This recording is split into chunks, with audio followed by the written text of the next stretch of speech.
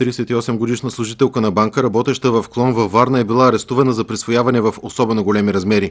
Жената е с инициали Н, Г и кратко. По данни на окръжната прокуратура, в последните три години тя отклонявала средства от сметкени клиенти.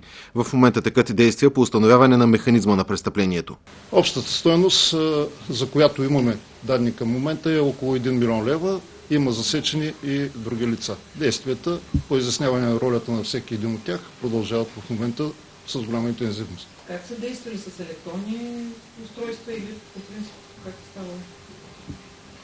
Самият механизъм е в процес на изясняване. Доказателствата, които са събрани към момента, сочат на възползване от служебното положение на длъжностно лице. От прокуратурата посочиха, че все още се установява броя на потерпевшите клиенти.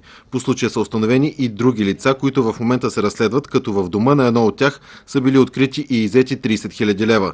До момента младата жена не е попадала в полезрението на полицията. Извършителката на престъплението не е криминално проявена и не е попадала в полезрението на полицията по такъв тип или друг тип престъпление. Разследващите действия по случая продължават. За такова престъпление наказателният кодекс предвижда наказание от 10 до 20 години затвор, конфискация на имущество и лишаване от права, посочиха от прокуратурата.